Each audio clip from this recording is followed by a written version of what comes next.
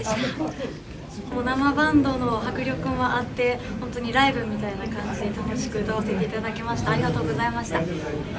自分でもここまで細かく生放送の日とかにこう SNS 投稿ってしないので自分としてもすごい新鮮で楽しかったです。NHK プラスでも配信されますので皆さんぜひそちらも見てください。